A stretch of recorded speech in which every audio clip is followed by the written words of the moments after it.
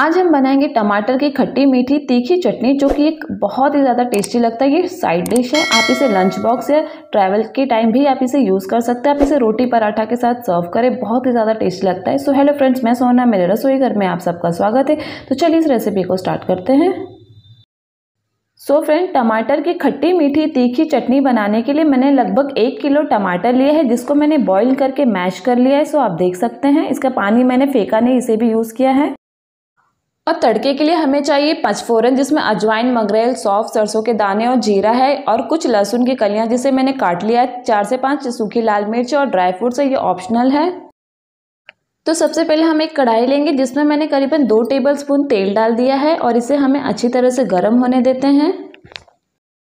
सो so friends तेल हमारा गर्म हो चुका है। अब मैं इसमें कटे हुए लहसुन डाल दूँगी, और इसे कुछ सेकेंड के लिए हम भून लेंगे। अब हम इसमें पचफोरन ऐड कर देंगे।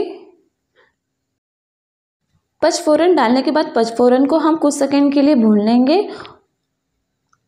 और अब मैं इसमें सूखी लाल मिर्च डाल दूँगी, जिसको मैंने बीच से तोड़ लिया और इसे भी हम कुछ सेकंड के लिए भून लेंगे।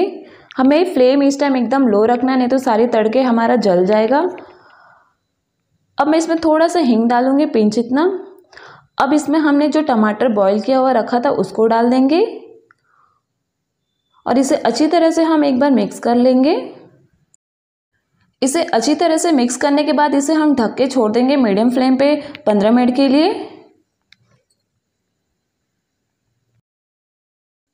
करीब पंद्रह मिनट बाद आप देख सकते हैं टमाटर ने और पानी छोड़ दिया है तो इसे अब हमें हाई फ्लेम पे बीच बीच में चलाते हुए इसे हमें पकाएँगे अब हम। इसे कंटिन्यू नहीं चलाना है बीच बीच में चलाते हुए हम इसे पका लेंगे। तो इसे मैं फिर से ढक दूँगी दस मिनट के लिए। करीब दस मिनट बाद आप देख सकते हैं, कुछ हद तक पानी सूख गया है तो इसमें हम और भी चीज़ें ऐड करेंगे और उन सब के साथ में इसे पकाएँगे। तो अब मैं इसमें पिंच इतना नमक डाल दूँगी ये जो चटनी का खट्टा मीठा जो टेस्ट है ना, उस टेस्ट को ये बैलेंस करेगा। अब मैं इसमें डाल दूँगी dry fruits dry fruits optional है, आप चाहे तो डालें, लेकिन इसे डालने से टेस्ट काफ़ी ज़बरदस्त आता है। अब मैं इसमें डाल दूँगी करीबन एक कप इतना मेल्ट मेल्टेड वाला गुड़, आप चाहे तो नॉर्मल वाला भी जो मार्केट में गुड़ आता है ना, आप वो डाल दीजिए। ऑर्गेनिक है ये, हमने घर पे ही बनाया हुआ गुड़ है। इसको मैं डाल दूँगी। इसे टेस्ट काफ़ी अच्छा आता है। आप चाहे तो इसकी जगह चीनी यूज़ करें या फिर चीनी या गुड़, आप दोनों यूज़ करें। लेकिन ये गुड़ में ही ये चटनी काफ़ी अच्छी लगती है तो इसे गुड़ में ही बनाएँ तो बहुत ज़्यादा टेस्टी लगेगा। इस चटनी को आप अपने बच्चों के लंच बॉक्स में भी आप इसे दे सकते हैं या फिर आप इसे ट्रैवल में भी लेके जा सकते हैं। ये चटनी आप लगभग एक हफ़्ते तक फ्रिज में रख के स्टोर भी कर सकते हैं। सच में चटनी बहुत ही अच्छी लगती है। इसे अब हम खुले में पकाएँगे बीच बीच में चलाते हुए जब तक कि पानी पूरी अच्छी तरह से सूख ना जाए।